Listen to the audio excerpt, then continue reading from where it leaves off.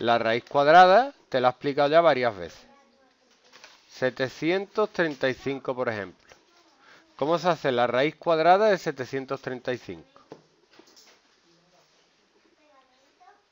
Pues hay que hacer grupitos de dos en dos. O sea, primero voy empezando de derecha a izquierda el 35 y luego el 7. Con el 0, que como el 0 no aparece.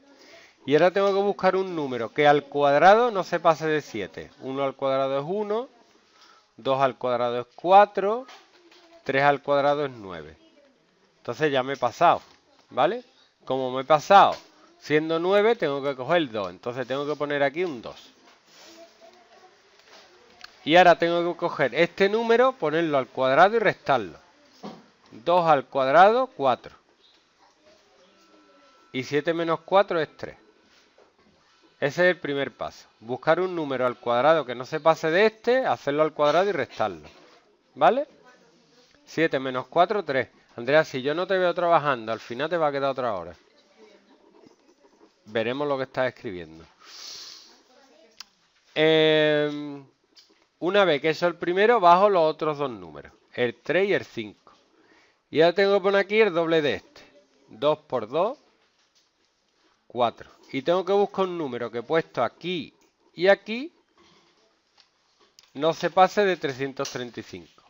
Y la única manera de hacerlo es probando. Por ejemplo, voy a probar con el 5.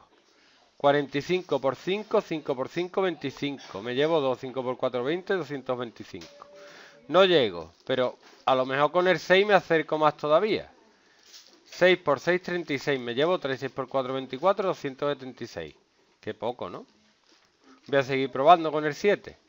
47 por 7, 7 por 7, 49. Me llevo 4, 7 por 4, 28.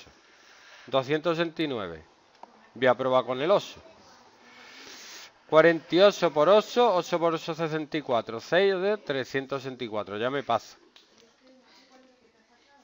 Esto es 329, que me he equivocado. Entonces el número que estoy buscando es el 7. 47 por 7, 329. Y el número que ve aquí es el 7. Y si quiero puedo restar aquí el 329. Y me da 6. Pero la raíz cuadrada de 735 es 27 y algo más.